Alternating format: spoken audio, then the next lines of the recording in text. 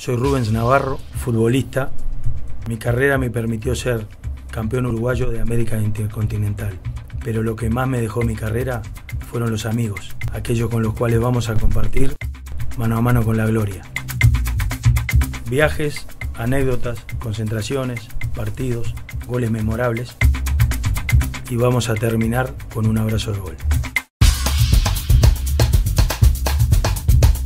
Bueno, queridos amigos, llegamos hasta aquí, hasta el Parque de los Aliados. Hermosa tarde para hablar de fútbol. Y en la tarde de hoy vamos a hablar con un goleador de raza, con esos que hacen generar los gritos de gol, la razón del fútbol, los que la meten adentro, como decimos en la jerga nuestra. Eh, este amigo que hoy va a compartir con nosotros estos momentos es del año 70 año mundial, nació el primero de marzo, ha hecho goles en, cinco países, tiene récord marcados en el exterior, ha jugado en selección. Tengo el placer y el gusto de, además haber compartido con él el equipo de Babi que jugó él. Y estoy con Carlos María Morales. Carlito, buenas tardes y gracias por, por venir a esto que, que estamos armando, que es una charla entre congéneres, entre jugadores de fútbol, deportistas que tuvimos vivencias, este, que la gente queremos que se entere. Cómo te formaste, cómo te criaste, cómo creciste. Así que bienvenido y vamos a hacer una charla distendida de tu historia futbolística que hasta hoy está vigente. buenas tardes, primero que nada, el gusto es mío. Y segundo, es, un sabor especial, como si es una charla de fútbol, porque después todos sabemos lo que fuiste vos como jugador, la suerte que tuve también de compartir contigo no de compañeros pero rivales, pero digo, es una charla fútbol, a veces uno cuando va a entrevista tiene que cuidar hasta cómo habla, cómo se expresa. Acá va a ser una charla fútbol, vamos a tratar de hacerla lo más distendido posible y, la verdad que muchas gracias y espero poder contarle parte de, mi historia futbolística en estos ratos. Bueno, impecable. Y bueno, como dice viejo refrán, vamos a empezar por el principio. Este, Babi Fútbol, zona, nacimiento, bueno, yo nací y me crié hasta los 20 años que me fui para casar, que cuando me casé, en Industria Gases, ahí muy cerca del cilindro, ahí en la esquina, ahí, ahí teníamos tres campitos para jugar al fútbol, donde hay hoy un hotel de alta rotatividad, en la canchita de Walt Disney, que era Tomás Claramunt Industria, y en la canchita de la escuelita, que es Industria y Centenario. En el fútbol me inicié a los 5 años eh, en el Oriental. La cancha del Oriental estaba atrás del, del frigorífico modelo, y ahí empecé a jugar al fútbol en mis primeros pasos. Fíjate que mi papá trabajaba en el mercado, en el mercado modelo y yo este, entrenaba ahí. Mi padre volvía del mercado, me preparaba y me llevaba a entrenar ahí mientras él tomaba mate y eso. Y son de los recuerdos que te quedan, ¿no? Los primeros armas. Hoy ves fotos de esos momentos y, te, hasta que causan risa, porque eran con niños, pero la verdad que después con el tiempo hoy podés eh, volver atrás y decir eh, los lindos momentos que viví en el fútbol fueron en el baby fútbol. Después fue una profesión que elegí, pero los lindos momentos y los recuerdos espectaculares que tengo son todos del fútbol. Sí, Carlito, vamos a contarle a la gente porque yo jugué en esa cancha. Terminaban los partidos y se llevaban los arcos.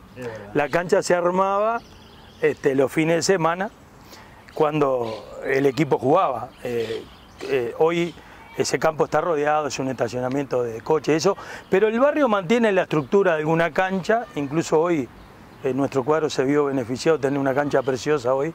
por donde era el cilindro. Donde era el cilindro, por lo bueno. El paso del tiempo hizo que nos, que nos beneficiáramos con eso. Eh, y también me gustaría decirle a la gente que eh, por el Oriental pasó Manuel Cosellán, pasó José María Muní, Daniel Allende, pasó Alberto Vica, Alfonso Darío Pereira. Eh, Pasaste vos, Pocho. Sí, pasaste vos, Oscar Carusini, todos los buenos. Los buenos. El padre de Gonzalo, eh, Gustavo, eh, Rubén, el padre de Santiago y de... Ellos son de ahí, de, por el Arrieta. Ellos, son, todos de ahí, del barrio Arrieta, Alvarito Martínez. El otro día veíamos Yo una que no foto... me acuerdo si no jugaron los Villasán también. Porque ellos eran de ahí, al ladito. Sí, pero yo no me acuerdo si no jugaron. Yo no sé si no jugaban en el cilindro, los ah, eso, me queda la duda. O vinieron un poquito más grandes de Durazno, que es lo que vivimos nosotros el barrio. Claro, pero ellos cuando joven estaban ahí en el barrio. Por eso no, no, me quiero adelantar, pero digo, el oriental, eh, me acuerdo que, como decís vos, desarmaban la cancha y la llevaban a la casa de enfrente, ahí atrás del arco, donde era el arco. Pero digo, éramos muchos del barrio. en otros clubes, por ejemplo, después cuando yo me fui al Ciclón, me tocó jugar con gente de todos lados, viajábamos para jugar en el Ciclón. Y ahí en Oriental éramos todo el barrio y casi todos los conocíamos. Y, por ejemplo, una de las cosas que hoy eh, falta mucho, nosotros jugábamos, eh, de los de seis años jugábamos, cuando yo empecé, jugábamos a primera hora y nos quedábamos a ver hasta la última categoría, para ver a los amigos. Y los amigos a veces venían mucho más temprano para verte. Se compartía mucho más. Hoy terminan de jugar y esa categoría se va y la otra llega solo a calentar. Esas son las cosas de, también tener la mitad en el fútbol, ¿no? No, y además te acordás los viajes en barco, Carlito, a la cruzada a Buenos Aires. Buenos Aires. 150 pibes arriba un barco. Qué historia. Eran divinas. ¿sabes? Sí, pero no te olvidas más. No te olvidas más. Hoy te llevan a esos lados o pasás por esos lados y te acordás que ahí tuviste en el fútbol. Eh, eso es verdad. A mí me tocó jugar en cancha y me tocó jugar en cancha de fútbol. Sala. De, sala. Cuando íbamos allá nos comíamos cada vinillo barro. Es que nosotros íbamos más de paseo. Nosotros íbamos más de paseo, eso es verdad. Y además, malo bien, digo, esas experiencias de vida que tuvimos, que era un barrio tirando a, humildote, ¿no? De humildote para abajo. Pero, ¿te acordás también los Cajelmacher, Vitales, Presidente, todo lo que hacían para que nosotros los fines de semana pudiéramos este, lucir la camiseta esa inolvidable para muchos de nosotros? Che, Carlito, ¿cómo llegás? ¿Celeste o azul? Y era un, era un término medio. Porque hasta el día de hoy discutimos con Mario si era azul o celeste. Era el término medio del azul y el celeste. Carlito Muñoz y qué, mándame jugaron ahí los dos, Tonelo. A mí me tocó que, que Muñoz fuera el presidente cuando yo jugaba. con mí me, tocó de delegado. Era un. Para celeste era oscuro y para azul era claro. Era intermedio. Teníamos el escudo redondo que decía Club Deportivo Oriental. Se Una, una, unos momentos de nuestra vida realmente como decís vos, Carlito, hoy pasás por la esquina que hay otras cosas, y si pa, yo, los momentos que vivimos, aquello cuando íbamos en la bañadera para el puerto, la subida al barco, lo que era en, aquella época nuestros padres dejarnos solo viajar. Viajar. No, y prepararse el bolso dos días antes. el, zapato y la ropa lo tenían preparado un día antes, dos días antes, yo me acuerdo. Hoy te dicen que va a viajar a hacer la maleta y te va. Allá nosotros creo que el día anterior a dormirte ya tenías preparado el bolso. Eso es verdad, sí. Che, Carlos, eh, ¿cómo llegas a, tu transición del Babi a juveniles? ¿Cuál fue el último escalón que hiciste del Babi y cómo entras en la base de lo que es el fútbol profesional, que es las divisiones juveniles, ¿no? la formativa? Fíjate que eh, lo que te contaba, yo jugué tres años en Oriental, fui uno al Ciclón y cuando estaba en el Ciclón, un día de River me invitaron a ir y la verdad, eh, nosotros no teníamos, era una familia de seis hermanos más tengo, uno no está ahora ya, pero éramos muy pobres, mi padre trabajaba, apenas nos alcanzaba para comer, a veces salteado. Y en River me ofrecieron dar todos los útiles para mis hermanos y yo iba a jugar al fútbol de River allá por el año 79, por ahí 80, 80 era. Y me fui a River, hice los últimos dos años en River en el fútbol y ahí este, el que hacía la captación, como le llaman hoy, de River era Jesús Rodríguez. Palabra mayor. Palabra mayor. Eh, eh, eh, yo digo que el que me encaminó al fútbol fue Jesús Rodríguez, siempre le voy a estar agradecido. Y a los 13 años, cuando terminó el Bay Fútbol, yo, yo jugué en la selección de la liga ese año y todo. Y en esa época no había para jugar a los 14 años. Hoy podés jugar. no teníamos Z y Tenías un año y medio, dos años que tenías que hacer una escala de entrenar y no podías jugar. Bueno, por suerte yo fui a entrenar, después a los 14 años y a los 15 ya jugué yo la categoría de arriba. O sea, yo entrené solo un año afuera. Y Jesús Rodríguez siempre, siempre él me guió, me decía que yo iba a llegar. Pero había una cosa rara. Jesús Rodríguez, todas las inferiores que me dirigió él, me usó de 8. ¿Entendés? Así yo llego él. Él me decía, vos sos un volante, pues yo tenía buena dinámica, buen recorrido y siempre me gustaba llegar al área. Y él dice, me empezó a poner, primero en la, era la sexta, después quinta, ya de quinta yo salté mucho, jugué hasta en tercera, a veces en cuarta, y, este, y él fue el que me llevó, y siempre, siempre toda la vida me hacía jugar de ocho, y eso, ahí empecé a hacer mis primeros pasos las inferiores de River. Carlos, ¿qué, qué, jugadores de aquella época pudieron llegar a primera, algunos con relevancia, otros no tanto, o, o algún nombre que, que te haya acompañado en ese en ese ciclo, ¿no? Porque siempre pasa que los números no mienten, son, porcentualmente son muy pocos los que llegan a primera y son muy pocos los que trascienden a nivel internacional, como te pasó a vos. Pero tenés que haber compartido momentos, vestuario con un muchacho que te acuerdes a vos de aquella época. No, yo compartí con varios. Lo que pasa que, por ejemplo, eh, queda feo, ¿no? Pero a nivel, a nivel internacional de mi categoría, fui el que, fuimos dos los que jugamos a nivel, afuera. Uno, Juan Correa, que en paz descanse. Juancito Correa, de verdad. Que fue a Chile y todo. Y después yo, pero hubo, en esa época estaba Omar Otero, el hermano de Marcelo, que jugó mucho tiempo acá. Pero creo que Omar también jugó en Olimpia, si no me equivoco. Fue a Olimpia. Gaby Delor es más, más Gaby Delor es un año más chico. Yo te iba a nombrar a todos ellos, porque después aparece Gaby Delor, Ale Márquez, que Petete. Con, Petete, Canovio, que con todo, Diego López. El brasilero, El brasilero uh. Ellos eran menor que yo.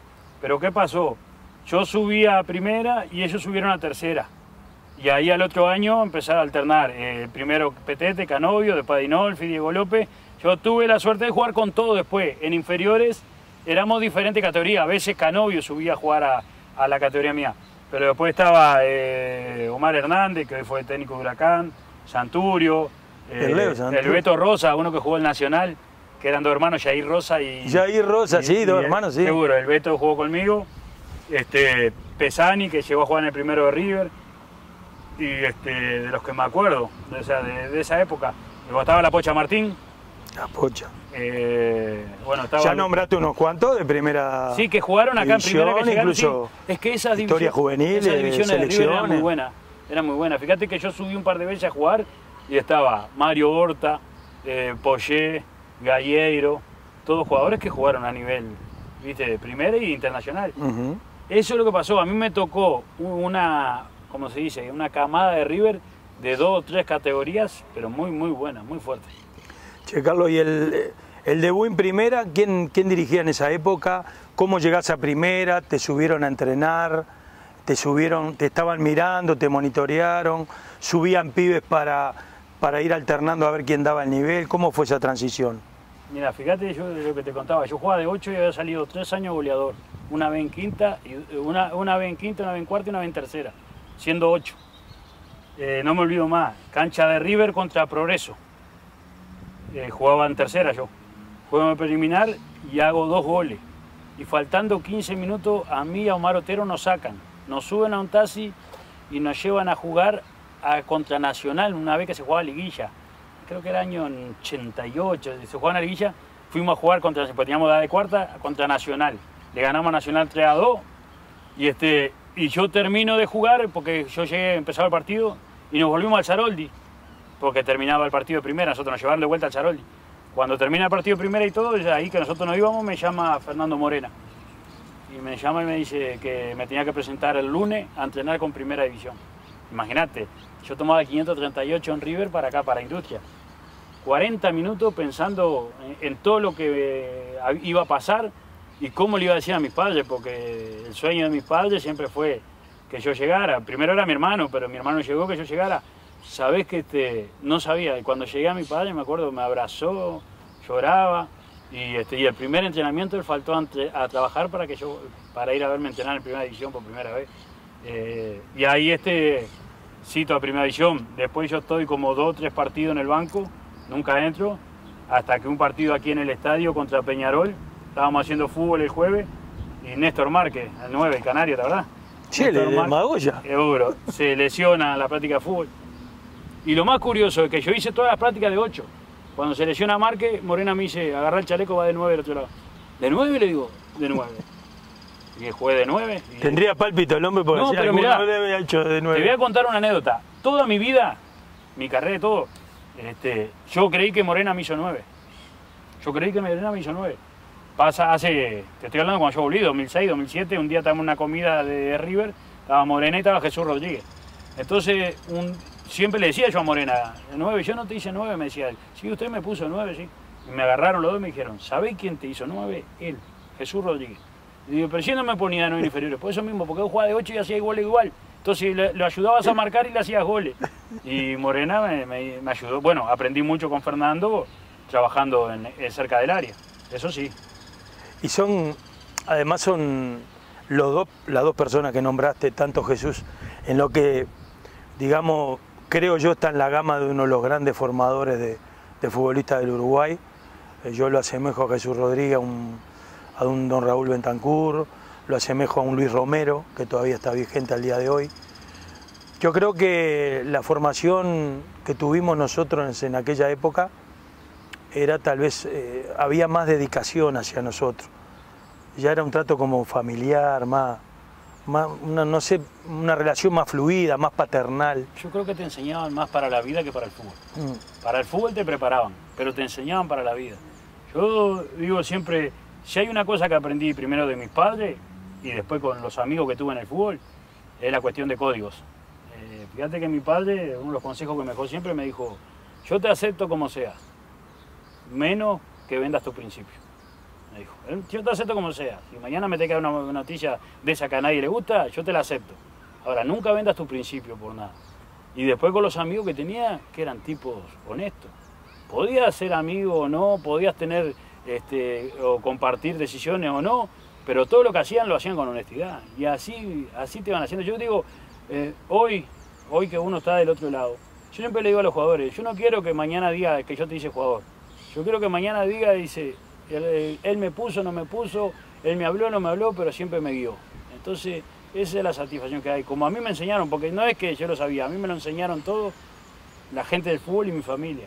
Entonces digo, eh, eso es lo que hay. Hoy todos queremos que sean jugadores de fútbol y al mejor meterlo arriba para decirlo debuté o lo hice jugar. Y no es así, no es así porque, como decía recién, Pocho, no todos los jugadores van a llegar al alto nivel. Y si no son jugadores de fútbol, tampoco se les acaba la vida. Sí, por lo menos que si te toca no vivir de esto, estás preparado para vivir de otra cosa. Con los principios básicos, pero como vos decís, el, amor al trabajo, los, los conceptos, llegar temprano, entrenar bien, comer bien, descansar bien.